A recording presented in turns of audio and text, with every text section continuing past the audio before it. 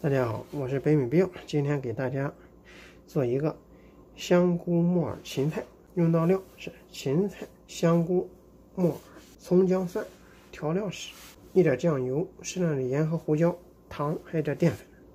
芹菜倒入，烫好，捞出备用。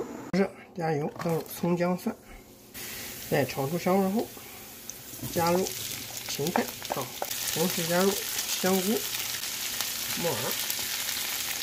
加点盐和胡椒，再糖，现在加点淀粉就可以出锅了。